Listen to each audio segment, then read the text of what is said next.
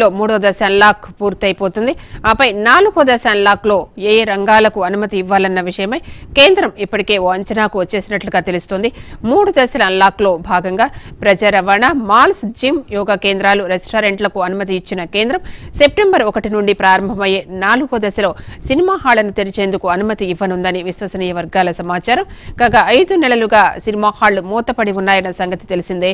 ఈ మధ్యలో తమ హాల్స్లో సీటింగ్ నిర్మాణాన్ని మారుస్తామని అన్ని నిబంధనలు పాటిస్తామని సినిమా థియేటర్లను తెరుచుకునేందుకు అనుమతించాలని పలు మూవీ చైన్ సంస్థలు కేంద్రానికి విజ్ఞప్తి చేశాయి. అయినా కేంద్రం అనుమతించలేదు. ఇక తాజాగా భౌతిక దూరం శానిటైజేషన్ నిబంధనలు పాటిస్తూ మూవీ థియేటర్లను ప్రారంభించేందుకు కేంద్రం అతి త్వరలోనే మార్గదర్శకాలను జారీ చేయనుందని సమాచారం. హాళ్ళలో ఏసీ ఇరవై నాలుగు డిగ్రీలకు తగ్గకుండా చూడటంతో పాటు సినిమా చూస్తున్నంతసేపు మాస్క్ తప్పనిసరి చేయాలని కేంద్రం నుండి హాల్స్ యాజమాన్యాలకు ఆదేశాలు అందాయని తెలుస్తోంది.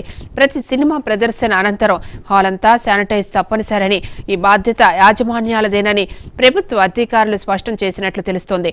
సినిమా హాల్స్ తిరిగి తెరుచుకునేందుకు పాటించాల్సిన విధి విధానాలను విడుదల చేసేందుకు కేంద్రం సిద్ధమైనట్టు ప్రభుత్వ అధికారి ఒకరు తెలిపారు.